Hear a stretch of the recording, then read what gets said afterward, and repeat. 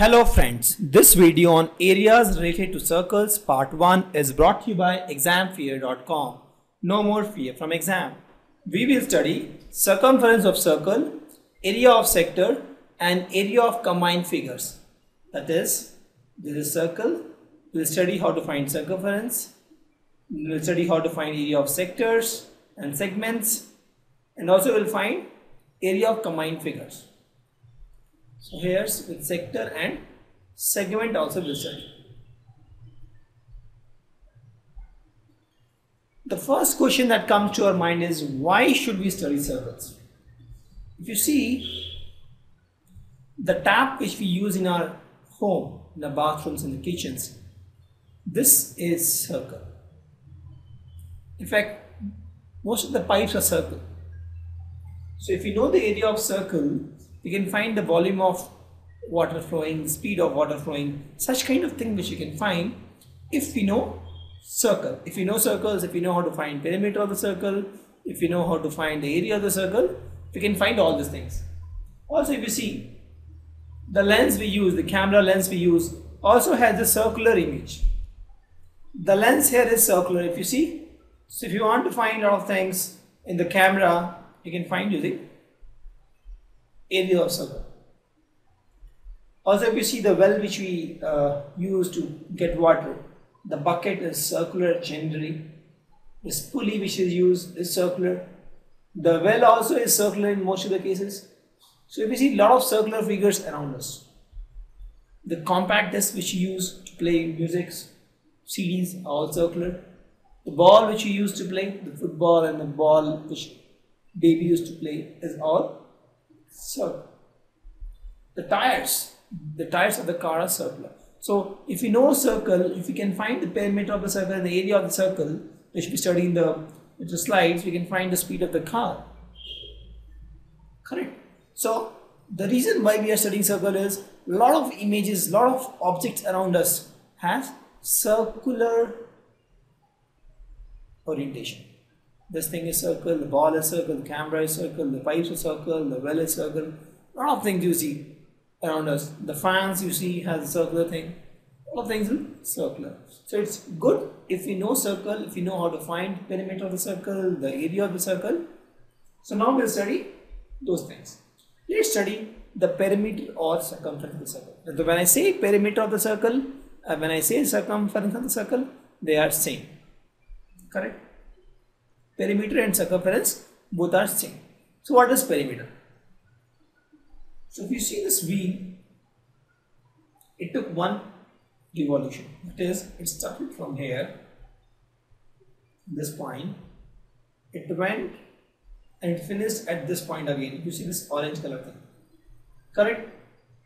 It started from here, one complete revolution and this is nothing but circumference of the circle circumference of circle is nothing but you start from this point you find the length you go from here here here here here here. Again come back to this point. This whole length is nothing but circumference or perimeter of the circle. See in normal case when you say perimeter of the square it's nothing but you start from this point you go till this this point this point you come back this point. This is nothing but perimeter of the square. Any object you want to find the perimeter you start from that object for example this is an object you want to find, find the perimeter of the object. You start from this point you again go go go and come back to this point again that's called perimeter of the object. Similarly in the case of circle also when you want to find the perimeter you start from this point you go from here to this point you come back here and this is your perimeter. Similarly when I talk about when this tire moves from here to here. In this case, if you see, the tire moves from here to here, this point is something which is moving. So if you see this, this point itself is moving from here to here. You see here from here, this point is moving from here to here. So this length is also perimeter. From here, point A to B is also perimeter. Don't be confused. Now, just to understand perimeter is nothing but you start from one point you go go go go come back to this point this is called perimeter or circumference of the circle. Both are same thing. Typically when you rotate this tire, one revolution or one rotation is nothing but perimeter. So if you start from this point here and if you go and come back to the same point, this point orange one, this is the length of perimeter. And the circumference or perimeter is defined by the formula pi d. d is diameter, pi is nothing but 22 by 7 or 3.14 is a constant value.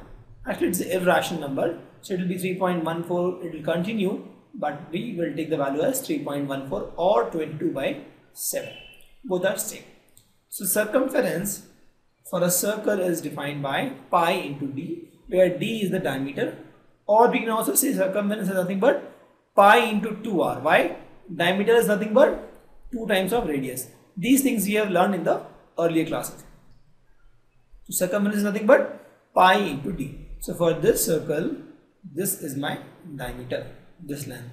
I'll call this as uh, CD. CD is the diameter. So what and this uh, let's suppose O, OD is the radius. Correct? So circumference is nothing but pi into D or pi into 2r. Here pi is irrational number and its decimal expansion is non-terminating, non-recurring. So but we generally take pi as 22 by 7 or 3.14. As I told pi is nothing but 22 by 7 or 3.14 correct please understand circumference is pi into diameter or pi into 2 radius both are same and pi is 22 by 7 or 3.14 so one complete rotation a circle makes that is perimeter or in other words you start from a point and you go around come back to the same point the distance covered is called perimeter or circumference of the circle Thank you. Visit examfear.com to watch free educational videos, try free online tests, get the best quality study materials, study from the best tutors and mentors, and much more. Thanks once again.